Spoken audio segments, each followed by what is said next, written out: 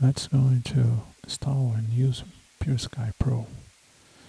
First you go to edit, preferences, install, go to the folder you have downloaded it, click to open, enable it, and can close.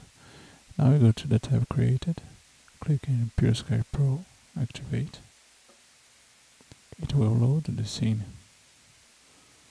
Now you can choose to animate it using these variables that you have here. For example, if I want to animate the time of the day, I can go to the frame 1, keyframe it here, go to the frame, let's say 50, choose another value, let's say 30, keyframe it here, then let me put just uh, the keyframe 50 and you can see it's happening in animation that you that you can go to the view view viewport render animation to check how it's going to work.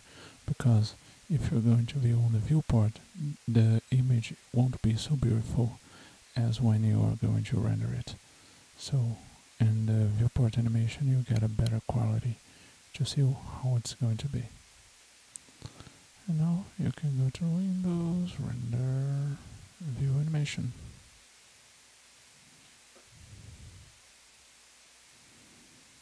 Here it's too fast, but you can choose your own speed to play with your Pure Sky Pro. Bye.